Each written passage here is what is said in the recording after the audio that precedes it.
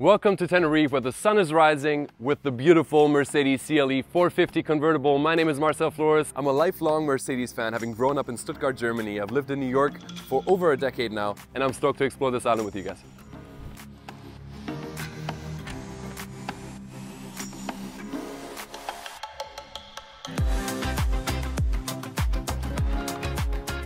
Before we hit the road, let's talk about this beautiful car behind me. The CLE, for those of you that don't know anything about the CLE, combines the sportiness of the C-Class with the elegance of the E-Class. The 450 boasts a 3-liter engine with a 381 horsepower output, so this thing you can absolutely have fun with but also you can stay ultra comfortable and luxurious, whatever you choose. The 2024 model also has a few new features. Let's start with the exterior. Obviously, you have that beautiful, sophisticated aerodynamic design on this soft top convertible, but accessing it is about as easy as it's ever been. You got contactless entry, and if you want to open the trunk, all you have to do is walk back and kick underneath it.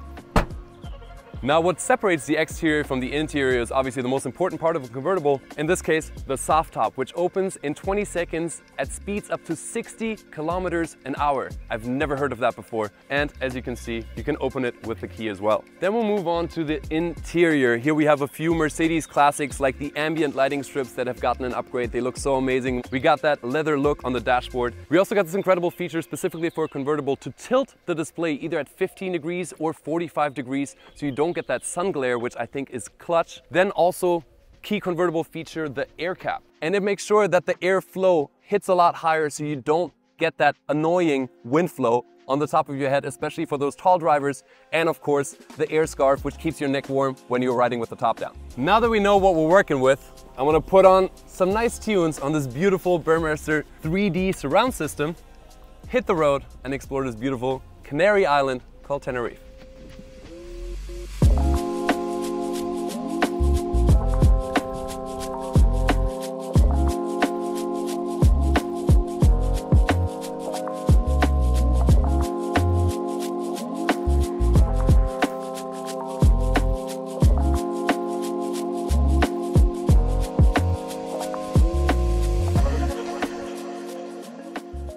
Leaving the coastal cities behind, we moved all the way up the mountains to where I'm standing right now, Teide National Park, which is a UNESCO heritage site. It's named after Mount Teide, which happens to be the highest peak in all of Spain. And because of all the volcanic activity over hundreds and hundreds of years, this park offers some of the most unique and diverse terrains that I've ever seen in my life. It's absolutely stunning. Currently standing right beside the Roques de Garcia, a rock formation that is mind-blowing. This place honestly looks a lot more like Mars than Earth most of the time, which is fine because our car is essentially a spaceship.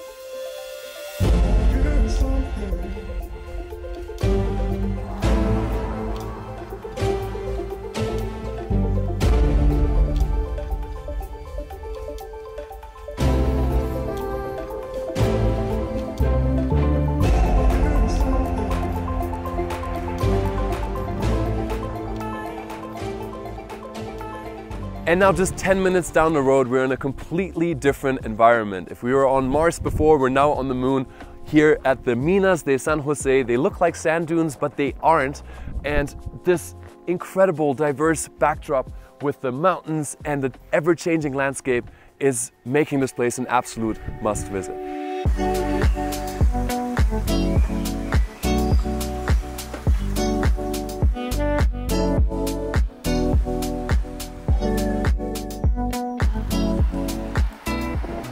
We have made it all the way to the north to the city called San Cristobal, which also happens to be a UNESCO heritage site because this used to be the ancient capital of Tenerife. It's beautiful. We're currently driving through the old town. You have major influences here from the Baroque, neoclassical, from the Gothic, and you really see how this island has gone through so much history and so many different influences. It's a stunning sight to see. Santa Cruz, on the other hand, is a very modern city. This is the current capital of Tenerife and I'm standing in front of the government not only for this island, but for all of the Canary Islands. The city has an incredible amount of art, culture, music, and of course, the people. And all of that really culminates into one massive event every year, and that's the carnival that's happening in February. It's one of the largest carnivals in the world and even rivals that in Rio. So I really hope that you see how many beautiful sights there are to this wonderful island. But one thing we haven't quite seen yet that we definitely still need to is a nice sunset, and I think I know where to find one.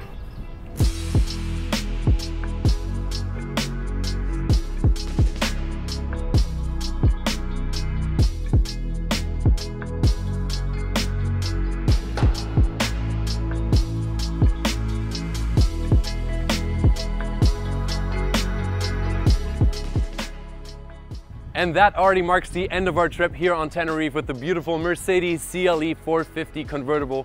Thank you guys so much for coming along and I hope you enjoyed this video. I don't know when I'll see you next, hopefully on this channel, but for now, you guys stay exploring. Bye.